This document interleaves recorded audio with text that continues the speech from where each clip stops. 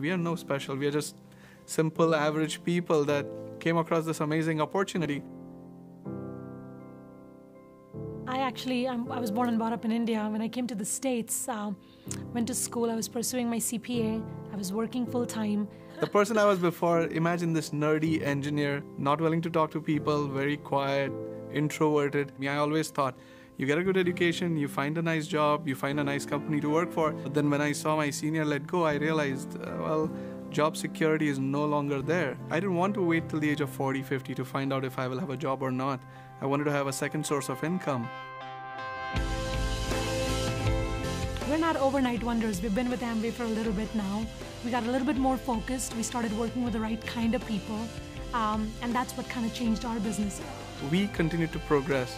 Um, yes, uh, sometimes it looked far, but uh, you know what? We put those negative thoughts aside, and every year we came back with a little bit more on our business, and uh, that's how you'll make it to diamond. I learned through observation. Uh, the people that brought me on my uplines, incredible leaders, and when they start talking, I do listen. Dreams have definitely changed. Jwalant and I, we have uh, three kids, all under the age of seven, thanks to the Amway opportunity. As soon as we found out um, that we were expecting our first one, our daughter Gia, I was able to actually call my boss and say, hey, I'm never coming back.